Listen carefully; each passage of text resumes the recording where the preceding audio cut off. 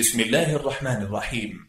المكتبة الصوتية لمعالي الشيخ الدكتور صالح بن فوزان الفوزان.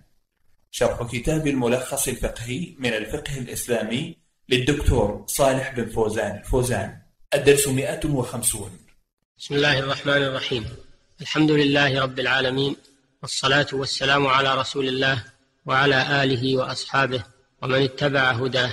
أما بعد أيها المستمعون الكرام السلام عليكم ورحمة الله وبركاته. ونواصل الحديث معكم في بيان ما تيسر من أحكام النكاح.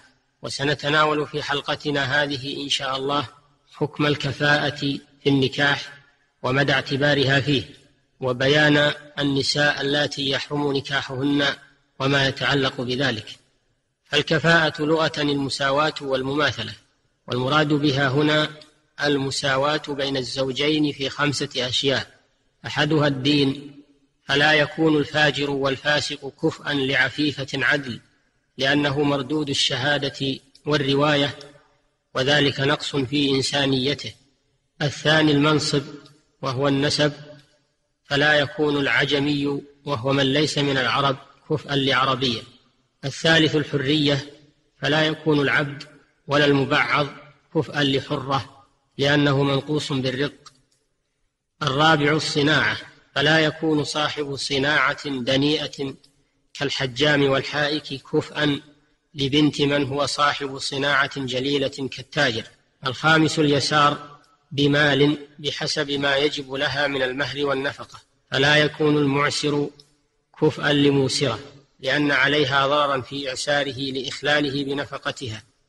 فإذا اختلف أحد الزوجين عن الآخر في واحد من هذه الأمور الخمسة فقد انتفت الكفاءة ولكن ذلك لا يؤثر على صحة النكاح لأن الكفاءة ليست شرطا في صحة النكاح لأن النبي صلى الله عليه وسلم أمر فاطمة بنت قيس أن تنكح أسامة بن أسامة بن زيد فنكحها بأمره صلى الله عليه وسلم متفق عليه ولكن تكون الكفاءة شرطا للزوم النكاح فقط فلو زوجت امرأة بغير كفئها فلمن لم يرضى بذلك من المرأة أو أوليائها فسق النكاح لأن رجلا زوج بنته من ابن أخيه ليرفع بها خسيسته فجعل النبي صلى الله عليه وسلم لها الخيار.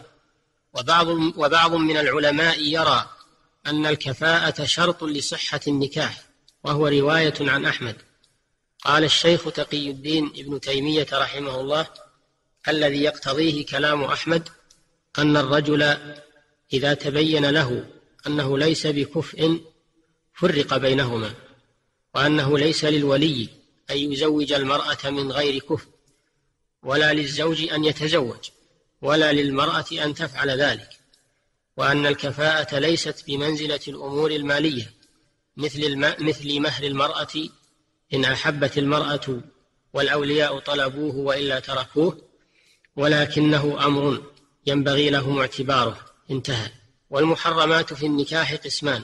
قسم يحرم نكاحه تحريما مؤبدا. وهن أربع عشرة سبع يحرمن بالنسب وسبع يحرمن بالسبب. وهن المذكورات في قوله تعالى ولا تنكحوا ما نكح آباؤكم من النساء إلا ما قد سلف. إنه كان فاحشة ومقتا وساء سبيلا. حرمت عليكم أمهاتكم وبناتكم وأخواتكم وعماتكم وخالاتكم وبنات الأخ وبنات الأخت وأمهاتكم اللاتي أرضعنكم وأخواتكم من من الرضاعة وأمهات نسائكم وربائبكم اللاتي في حجوركم من نسائكم اللاتي دخلتم بهن فإن لم تكونوا دخلتم بهن فلا جناح عليكم وحلائل أبنائكم الذين من أصلابكم وأن تجمعوا بين الأختين إلا ما قد سلف. إن الله كان غفورا رحيما. والمحصنات من النساء إلا ما ملكت أيمانكم. كتاب الله عليكم. إلى قوله تعالى ومن لم يستطع منكم طولا أن ينكح المحصنات المؤمنات فمما ملكت أيمانكم من فتياتكم المؤمنات. إلى آخر الآية فاللاتي يحرمن بالنسب في هذه الآيات بيانهن كما يلي. الأم والجدة لقوله تعالى حرمت عليكم أمهاتكم والبنت وبنت الإبن وبنت بنت البنت وبنت بنت الإبن لقوله تعالى وبناتكم والأخت شقيقة كانت أو لأب أو لأم لقوله تعالى وأخواتكم وبنت الأخت وبنت ابنها وبنت ابنتها لقوله تعالى وبنات الأخت وبنت الأخ وبنت بنت الأخ وبنت ابنه لقوله تعالى وبنات الأخ والعمة والخالة لقوله تعالى وعماتكم وخالاتكم واللاتي يحرمن بالسبب هن الملاعنة تحرم على الملاعن لما روى الجوزجاني عن سهل بن سعد قال مضت السنة في المتلاعنين أن يفرق بينهما ثم لا يجتمعان أبدا. قال الموفق لا نعلم أحدا قال بخلاف ذلك ويحرم بالرضاع ما يحرم بالنسب من الأقسام السابقة فكل امرأة حرمت بالنسب من الأقسام السابقة حرم مثلها بالرضاع كالأمهات والأخوات لقوله تعالى وأمهاتكم اللاتي أرضعنكم وأخواتكم من الرضاعة وقال النبي صلى الله عليه وسلم يحرم من الرضاع ما يحرم من النسب متفق عليه.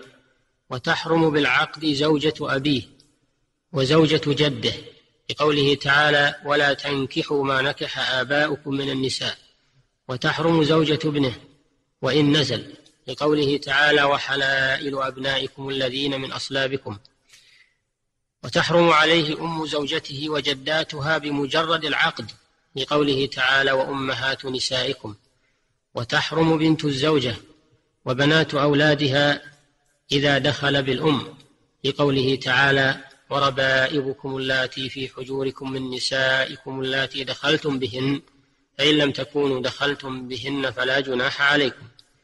هذا هذا بيان المحرمات في النكاح بالنوعين النسب والسبب. وإلى الحلقة القادمة بإذن الله تعالى لنواصل الحديث فيما تبقى من هذه الأحكام. والحمد لله رب العالمين. صلى الله وسلم على نبينا محمد وآله وصحبه.